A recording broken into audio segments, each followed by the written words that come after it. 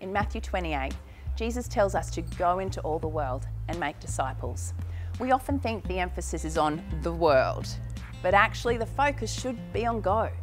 Jesus is telling us to go wherever you are. Sometimes that may be India or China or the Philippines, but much more likely it's going to be Brassall or Yamanto, Silkstone, Ripley, Springfield. In other words, the place most of us are going to go is the place we're already currently spending most of our time in.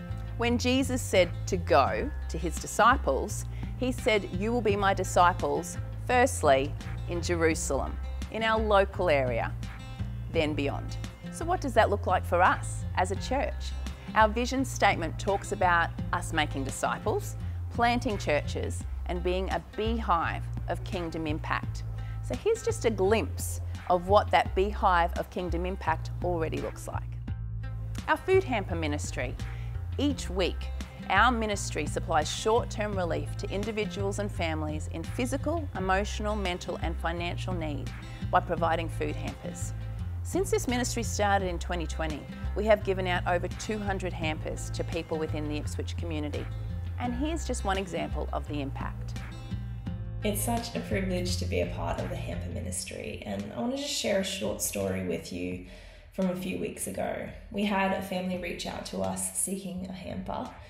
They were going through a really tough situation, made worse by some pretty significant health issues. And just through the process of being able to sort out and deliver a hamper to them, they expressed how loved and seen they felt. In their moment of craziness, they were able to feel just a little bit of peace. And the kids even said that it felt like Christmas morning opening up the package. And it's these little interactions that we get to have with members of the community that open up doors. Um, since then, we've been able to follow up with them and just pray over a number of different issues that are going on in their world and sow little seeds of hope and love into their lives. CAP Money Mentors is one of these areas. CAP provides holistic support for individuals facing extreme challenges such as unmanageable debt and relational and mental health issues. Money mentors come alongside and walk with people through what can be a very emotional and distressing time of their lives. I'm one of the CAP money mentors here at Catalyst Church. And one of my clients recently lost her job and at the same time was told that she needed to vacate her rental property and this put uh, added pressure on her finances. But for me, it was such a joy to be able to help her set up a budget and find avenues of assistance and also to pray for God's provision in her life. Um, her last text to me this week was just one of appreciation and thanks for just all the help we've been able to give her during this difficult time. Schools ministry in our local area we are providing support to school chaplains by engaging high school age children in value based education courses such as No Limits and general social and spiritual support.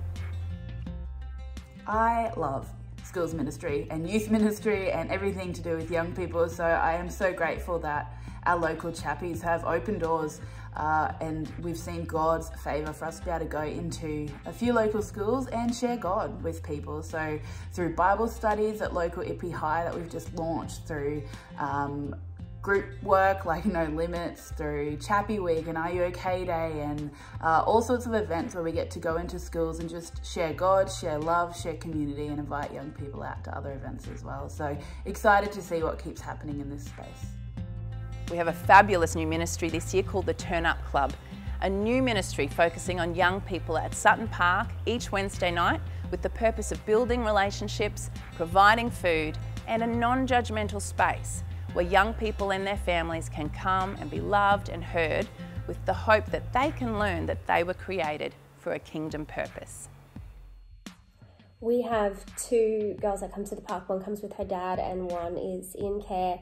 And there was this thing that happened one night, the little girl who came with her dad, she fell and she cried and she ran up to her dad and he gave her a hug and it was fine. But then the young girl that is in care fell later that night quite hard and initially there was just that fear and that her eyes that kids get, you know, they fall and they're scared they hurt themselves and then that passed, and I could just see in her face this change. And she's like, I have to be okay because I don't have anyone to run to. And it really just struck me how meaningful those small interactions can be um, with these kids, with these young people, and even with adults that are coming that maybe don't have anyone in their life that truly cares. There's so many other things. Adult education. We currently provide opportunities for ongoing learning and development through programs like Alpha Parenting and Unashamed.